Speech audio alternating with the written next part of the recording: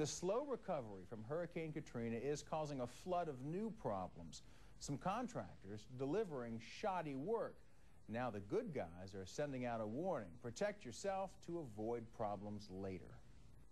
This is our home. We want to come back, rebuild, and just get stable. Three weeks ago, Patrique Wilson finally moved back into her New Orleans East home. Like a lot of folks, she couldn't wait to get there. So she hired a contractor right away, a choice she regrets. It was a family member that told me about him and told me how good he was and the type of work he did. The pipes are not connecting from inside the walls that are there, so I have no running water whatsoever.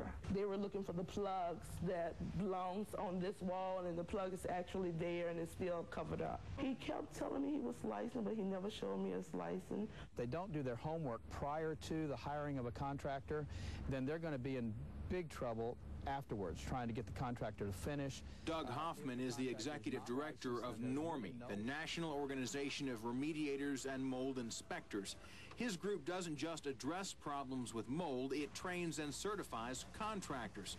Hoffman says top-notch contractors like Ronnie Wirth here are seeing a lot of homes with shoddy work and that means problems later for the homeowners. People are having to do what they have to do to get back in their homes, so they're taking it into their own, home, own hands and doing their own repairs, and in some cases hiring subcontractors who are not licensed or not qualified. Wirth says he knows licensed contractors like himself are stretched thin, and it may take a long time to get good work done, but it's worth it. Just in the last four months, they said they're tired of waiting.